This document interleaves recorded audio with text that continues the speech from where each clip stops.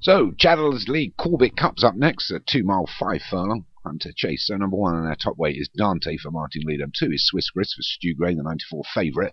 Three is Blockley Tutor for James Shea, along with four Mandolin Natter. Heathcote Monarch for Thomas Rogers is five. Ben Bonici's James Away Friend is six. And Max for Alex Cherry is seven. Seven of them here. Go over two miles and five furlongs. The rain's coming down here now. Chaddersley Corbett. So main make conditions a little bit uh, sticky for these. As they settle down, it's Mandolin Natter. Takes it up by a length and a half from Heathcote Monarch. And further lengths back to Max and Dante. And the three at the rear of Blockley Tutor, James Away Friend and Swiss Gris. So as they go away from the grandstand, or should I say the tents here at Chaddersley Corbett, approach the first of 18. Lead is over at Mandolin Natter, stake at the rear by James Away Friend. So it's Mandolin Natter that leads us for James Shea from Heathcote Monarch, Thomas Rogers in second. In third, Dante Martin Leadham in his old purple silks. On the outside of that is Max, Alex Cherry, orange cap, blue silks, orange crossbands, and we'll step over the second. We've got Stu Gray's Swiss Gris against the fences, James Shea's other horse, Blockley Tutor just Ben Bonici's James away friend at the rear at the moment, trying to get back into it after that mistaken first. So it's Mandolin Natter that leads us by a length and a half from Heathcote Monarch. Across the Chaddersley Corbett Road there. Go through the first half mile to get to the fourth. A slow jump there by Mandolin Natter has allowed Heathcote Monarch to get closer order.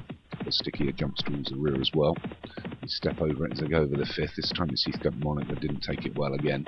So Mandolin Natter leads by a length from Heathcote Monarch. And they've got about a 5-6 length advantage from the rest, which is just being pulled along by Dante at the moment. On the outside is Max. They go over the 6. Bit of a mistake by Dante there, and James Away Friend didn't get over it particularly well. So we're still just under 2 miles to travel. It's Mandolin Natter and Heathcote Monarch. Swing left-handed, approach the 7th got a five length advantage from Blockley Tutor that's moved into thirds. The leaders are over the seventh. Couple of slow jumps. Swiss Gris took it slowly. And we come down to the next mile and a half still to go. There's Mandolin Natter from Heathcote Monarch. Blockley Tutor and Max. Much better jump there by Mandolin Natter. Jumps himself, sorry, Heathcote Monarch jumps himself into the lead. Mandolin Natter on his inside. Thomas Rogers and James Shea approach the ninth. They both get over that well.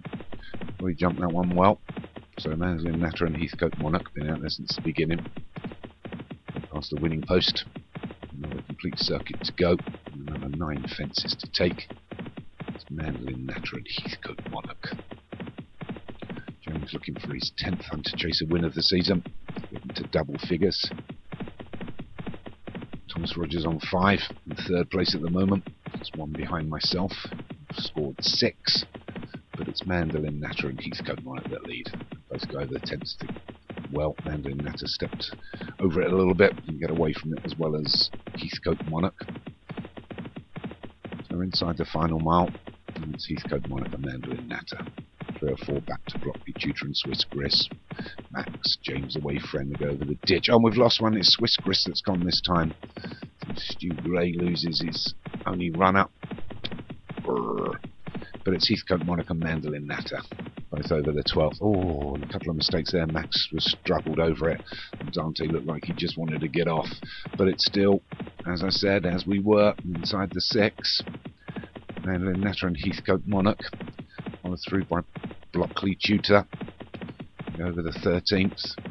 James away went through the top of it as well as Dante. They're not going to win from there. So as we come inside the final half mile, it's Mandolin Natter that starts to pull away from Heathcote Monarch in second. Running on Blockley Tutor is third. This could be another win for James Shea here as we approach the next, which is the 15th which is four from home, and it's Mandolin Natter that rises a little bit early, gets away from Heathcote Monarch, Blockley Tutor still trying to run on now, Dante and James away friend, they've got a sprout wings from there, so it's Mandolin Natter, joined by his stablemate Blockley Tutor, they take it on now as they come to the 16th, and it's Blockley Tutor running on really well now, is James away friend, as they get to the 16th, it's Heathcote Monarch that jumps better than all, and jumps himself into the lead from Blockley Tutor, Mandolin Natter, James away friend, Dante still trying to run on, Max is still there, but it's Heathcote Monarch that stretches his his lead. Inside the furlong and a half, goes over the penultimate well. Blockley Tutor went through the top of it. So it's Thomas Rogers, Heathcote Monarch pulling away from the rest. He's still got a furlong to run and one to jump.